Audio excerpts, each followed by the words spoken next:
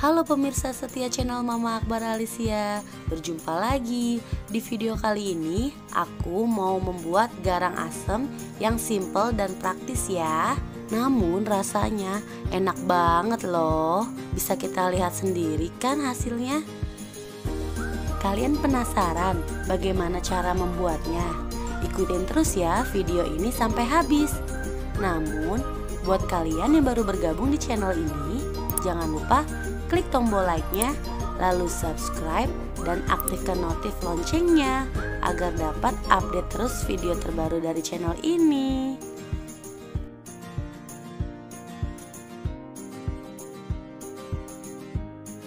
Langsung kita mulai dengan bahan-bahannya ya. Di sini saya sudah siapkan satu ekor ayam yang dipotong 12 sudah saya cuci bersih ya. Ada empat buah tomat yang masih segar di sini saya menggunakan tomat hijau, dua batang daun bawang yang sudah saya iris-iris seperti ini, dan 300 ml air putih. Untuk bumbunya nih saya iris semua. Ada 10 siung bawang merah, 8 siung bawang putih, 3 ruas lengkuas, 3 ruas kunyit dan 3 ruas jahe. Biar pedas, saya tambahkan 10 buah cabai rawit dan 5 buah cabai merah satu batang serai, 5 lembar daun salam, 3 lembar daun jeruk saya iris juga. Ada setengah sendok teh MSG, setengah sendok teh garam dan satu sendok teh gula pasir, 2 saset santan instan dan satu saset kaldu bubuk. Kita mulai saja dengan bumbu yang kita iris-iris ya. Nah, cabai ini saya iris dulu. Setelah diiris, saya sisihkan dulu ya. Dilanjut dengan bumbu-bumbu lainnya yang ikutan diiris juga ya. Dari mulai bawang putih, bawang merah,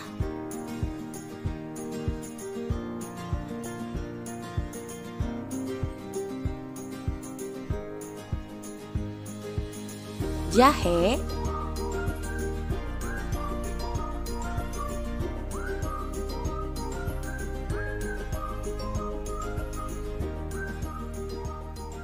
lengkuasnya kita iris juga.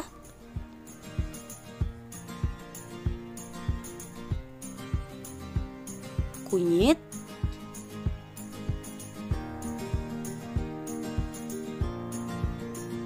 Sereh pun ikut kita iris. Daun salam dan daun jeruk juga ya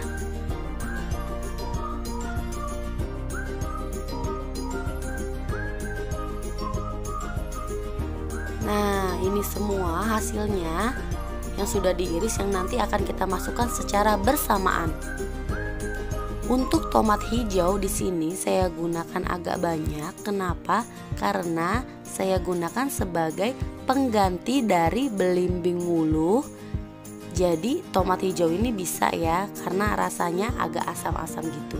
Saya iris dadu dan saya sisihkan dulu ya. Selanjutnya saya siapkan wajan jadi sebelum kita tuang ayamnya ke wajan, kita alasi dulu dengan daun pisang. Daun pisang ini sudah saya cuci bersih pastinya dong. Nah, kita alaskan wajannya dengan daun pisang. Lalu kita langsung masukkan semua ayamnya di sini.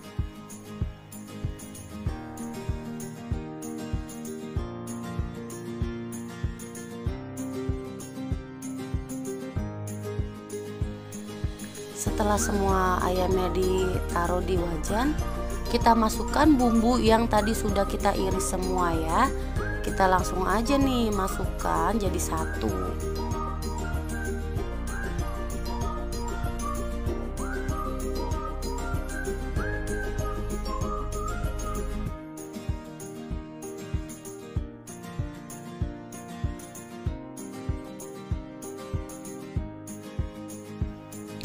Selanjutnya, saya masukkan MSG, gula pasir, dan garamnya.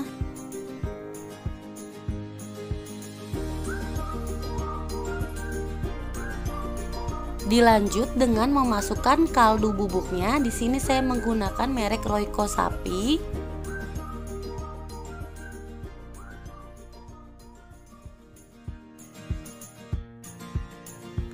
Dan tuang airnya sebanyak 300 ml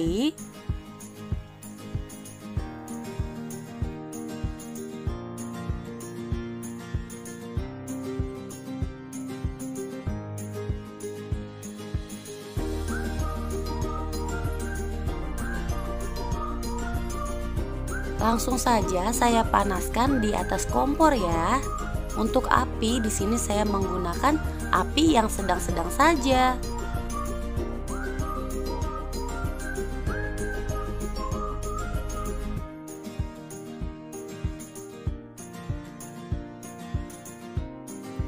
Sudah kita aduk dulu tadi ayamnya, lanjut. Saya langsung tutup ya. Kita diamkan selama kurang lebih 10 menit sampai airnya mendidih dan meresap bumbunya ke dalam ayamnya. Nah setelah kurang lebih 10 menit kita buka kembali wajannya. Kita aduk-aduk ya ayamnya. Kita bolak-balik agar matangnya merata meresap ke dalam seluruh ayamnya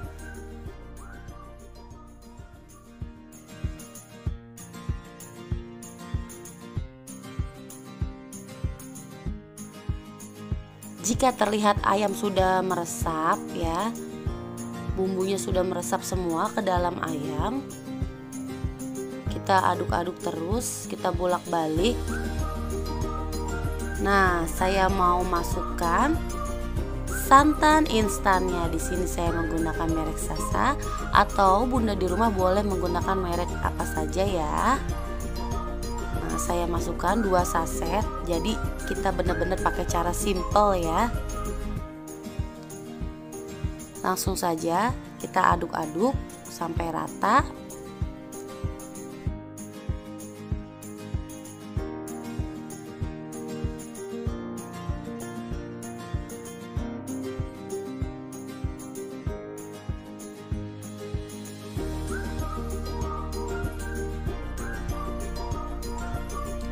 Buat bunda di rumah, jika suka banyak air boleh ditambahkan, tapi jangan lupa tambahkan garamnya juga ya. Nah, saya masukkan tomat hijaunya. Dilanjut dengan cabai yang tadi sudah kita iris-iris ya. Langsung kita aduk-aduk kembali.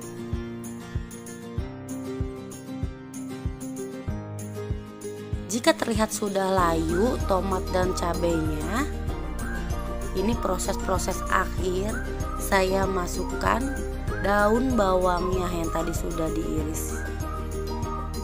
Kita masukkan daun bawangnya. Kita aduk sebentar saja, langsung kita matikan ya kompornya. Siap untuk kita sajikan. Garang asam ala Mama Akbar Alicia sudah jadi. Walau kita tidak bungkus dengan daun pisang, tapi tetap dapat aroma daun pisangnya karena apa? Karena tadi wajannya sudah kita alasi dulu dengan daun pisang. Jadi benar-benar simple banget. Nah, ini saya mau sajikan ya. Untuk tomatnya juga di sini tidak terlalu layu banget, jadi masih segar jadi bener-bener rasa gurih pedas asam jadi satu. Wah pokoknya wajib banget dicoba nih bun di rumah. Jika video ini bermanfaat silakan di like, comment, share dan subscribe ya bun. Jangan lupa aktifkan notif loncengnya agar dapat update video terbaru dari channel Mama Akbar Alicia sekian sampai jumpa di video berikutnya